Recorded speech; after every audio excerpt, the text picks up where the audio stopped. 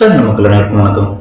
இந்த பதிவை ஃபுல்லா ரெக்கார்ட் பண்ணிட்டு நானும் ஒரு தடவை கேட்டு பார்த்தேன். நடுவில் கொஞ்சம் போரியா இருக்குமான்னு தோணுச்சு. அதனால ஒரு என்டர்டைன்மெண்ட்டுக்காக இந்த தடவை நடுவில் நடுவில் ஜோக்கை வந்து இன்செர்ட் பண்ணியிருக்கோம்.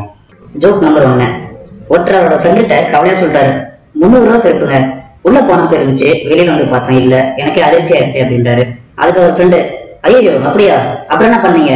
அப்படின்ட்டு அதிர்ச்சியா கேட்கிறாரு அதுக்கு அவர் ஃப்ரெண்டு ரிப்ளை பண்றாரு. வேற என்ன பண்றது? என் சேர்த்தே போட்டு வந்துட்டேன் அப்படின்ட்டு ஜாலியா ரிப்ளை பண்றாரு. வெயில் கொளுத்து கொளுத்து கொளுத்திட்டு இருந்த நேரத்துல இந்த வெயிலோட சூட்டை தணிக்கிறதுக்கு என்னதான் பண்ணலாம் அப்படின்றத ஒரு விசிட் பண்ணி பார்த்தேன் ஏன்னா இதெல்லாம் எல்லாத்துக்கும் தெரிஞ்ச விஷயம் தானே? வெயிலோட சூட்டை தணிக்கிறதுக்கு நமக்கு வந்து வாட்டர் மெலன் பிடிக்கும் கோகனட் வாட்டர் பிடிக்கும் இதெல்லாம் வந்து தெரிஞ்சு வச்சிருந்தாங்க தானே இல்லைன்னா புதுசா சொல்ல போறீங்க அப்படின்னு கேட்டா ஆமா அதெல்லாம் டிசைட் பண்ணி பார்க்கும்போது நமக்கு தெரிஞ்ச விஷயங்களை விட நமக்கு தெரியாத நிறைய விஷயங்கள் அதாவது வெயில் காலத்துல என்னெல்லாம் பயன்படுத்தலாம் அப்படின்ற சில விஷயங்கள் எனக்கு வந்து தெரிய ஆரம்பிச்சது. ஓகே அதை நம்ம வந்து பதிவு பண்ணலாம் அப்படின்றத அந்த பதிவு நான் போடுறேன். அதை பாத்தீங்கன்னா வெயில் காலத்துல இந்த வெந்தயம் அப்படின்னு ஒண்ணு இருக்கு இல்லையா? இந்த வெந்தயத்தை தண்ணியில அதாவது முன்னாடி நாள் தண்ணியில ஊற வச்சு அடுத்த நாள் குடிச்சிட்டு வந்தோம் அப்படின்னாக்கா இந்த வெயில்ல இருக்கிற அந்த வெப்பம் நம்ம அதிகப்படியே அதிகப்படியே தாக்காது. ஜோக் நம்பர் ரெண்டு. அவள் ஒரு கவிதை சொல் என்றாள் அவளின் பெயர் சொன்னேன். அவள் முகத்தில் வெட்கம் வந்தது. இன்னொரு கவிதை சொல் என்றாள் அவளுடைய தங்கச்சி பெயரை சொன்னேன். என் மூக்கில் ரத்தம் வந்தது. என்ன காரணம் கேட்டீங்கன்னா இப்போ இந்த வெந்தயம் வந்து ரொம்ப குளிர்ச்சி அப்படின்னு சொல்லுவாங்க. அதனால இது வந்து பாத்தீங்கன்னா வீட்லயே இருக்கும். நம்ம எமர்ஜென்சிக்கு வெளியில நம்ம வந்து எங்கேயும் அலைய தேவையில்ல. ஏதாவது மருந்து அந்த மாதிரிலாம் வாங்கணும். நம்ம வந்து உடல் சூடு அதிகமாயிடுச்சு. வெளியில போயிட்டு மருந்து மாத்திரை வாங்கி சாப்பிடணும் அப்படின்ற ஒரு எமர்ஜென்சியான சுச்சுவேஷன்ல எதுவுமே கிடைக்காத பட்சத்துல இந்த வெந்தயம் அப்படின்ற ஒரு அருமருந்து நமக்கு வந்து இருக்கு அது வீட்லயே இருக்கும் எல்லாத்துக்குமே தெரியும். ஜோக் நம்பர் மூணு. ஒரு ஒய்ஃப் அவங்களோட ஹஸ்பண்ட் கேட்குறாங்க என்னங்க நாளைக்கு எனக்கு கல்யாணம் நாள். இது வரைக்கும் எனக்கு கூட்டு போகிற இடத்துக்கு நீ கூட்டு போகணும் அப்படின்றாங்க. அதுக்கு அவர் ஹஸ்பண்ட் சிரிச்சுட்டே சொல்றாரு. அதுக்கு என்ன? நம்ம கிச்சனுக்கே போனா போச்சு அப்படின்றாரு.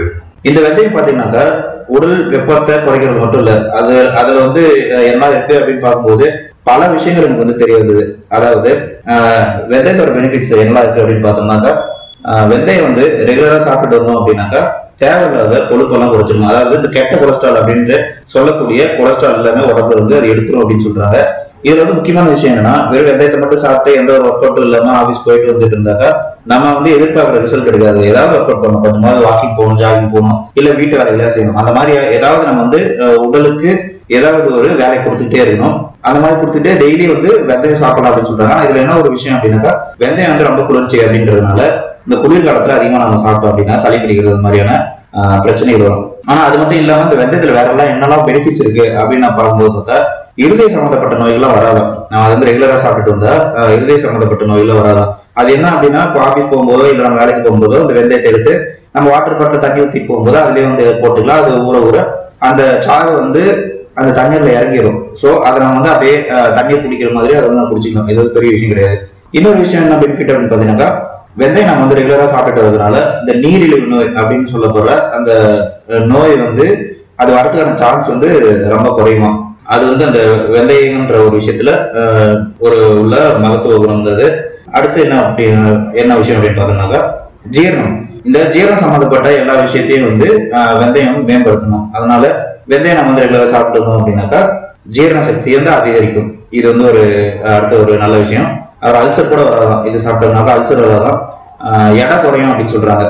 ஏன் எடை குறையும் அப்படின்னா நம்ம வெந்தயம் வந்து நிறைய சாப்பிட்டோம் அப்படின்னா நம்ம வந்து பசி எடுக்கலாம். ஸோ இதனால வந்து நம்ம சாப்பிட்ற சாப்பாடோட அளவு வந்து கட்டுப்படுத்தப்பட்டு நம்மளோட உடல் எடை எடை வந்து குறையும் அப்படின்னு சொல்றாங்க.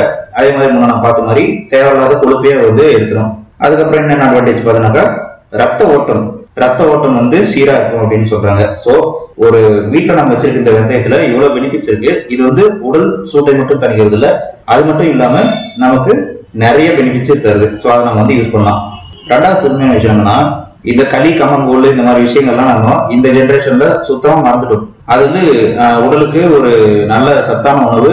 அது மட்டும் இல்லாம அது வந்து தண்ணியில ஆஹ், கரைச்சி தண்ணியா குடிக்கும்போது நல்ல ஒரு குளிர்ச்சியான விஷயமும் கூட. அதனால இந்த களி கம்மங்கூழ் அப்படின்றதுல வந்து புது விஷயம். இது வந்து வெயில் காலத்தில் பார்த்தோம்னாக்கா நிறைய வெளியிலே விற்பாங்க. ஆனா அதுல ஊத்துற தண்ணி வந்து கொஞ்சம் ஹைஜீனிக்கா இருக்கும் அப்படின்றது தெரியாது. பெட்டர் நம்ம வந்து வீட்லயே செஞ்சு சாப்பிடுறது ரொம்ப ரொம்ப நல்லது. இந்த களி கம்மங்கூழ் அப்படின்ற விஷயம். அவர் பார்க்கும்போது எனக்கு ஒரு விஷயம் புதுசா இருந்துச்சு. அதாவது வெயில் காலத்துல வெங்காயம் தக்காளி பழம் இதெல்லாம் கூட சாப்பிடலாமா? வெங்காயம் கூட சுட்ட குறைக்கும் அப்படின்னு சொல்றாங்க. நம்ம கிடைக்கிற தக்காளி பழம் அது கூட சூட்ட குறையும் அப்படின்னு சொல்றாங்க. சோ இதெல்லாம் படிக்கும்போது அது புதுசா இருந்தது. அது அதுக்கப்புறம் இன்னும் பார்க்கும்போது எப்பவுமே ரெகுலரான விஷயம் என்ன அப்படின்னாக்கா அஹ், எலுமிச்சம்பழ ஜூஸ் குடிக்கலாம். வெள்ளரிக்காய் சாப்பிடுறது தயிர் குடிக்கிறது தர்பூசணி சாப்பிடுறது. இது மாதிரியான ரெகுலரா நம்ம எப்பயும் வந்து சாப்பிடுற விஷயங்கள் எல்லாமே வந்து உடல் சூட்டை தணிக்கும்.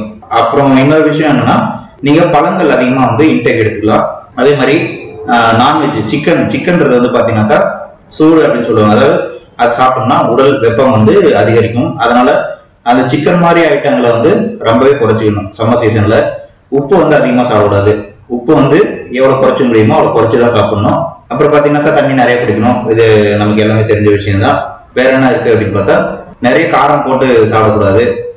சக்கரை வந்து தேவையில்லாத சக்கரைலாம் எல்லாம் போட்டு சாப்பிடக்கூடாது. உங்களுக்கு சக்கரை பிடிக்கும் அப்படின்னா நீங்க வந்து சுத்தமான தேன் வாங்கிட்டு சக்கரை ரீப்ளேஸ்மெண்டா யூஸ் பண்ணலாம். இல்ல நாட்டு சக்கரை நம்மளுக்கு இருக்கு இல்லையா? அதை நம்ம யூஸ் பண்ணி பார்க்கலாம். அது வந்து ஒரு நல்ல அட்வான்டேஜான ஒரு விஷயம். ஆஹ் இதுதான் இன்னைக்கு ஆஹ் இன்றைய பதிவு. ஸோ ஜாலிபி சாங் அந்த சாங்கை கேட்டு நீங்க வந்து என்ஜாய் பண்ணிருப்பீங்க அப்படின்னு நினைக்கிறேன். இது மாதிரியான அடுத்த தகவல் உங்களுக்கு பயனுள்ள தகவல் நான் வந்து என்ன பண்றது அப்படின்னு இப்போ நான் ரிசர்ச் பண்ணிட்டே இருக்கேன்.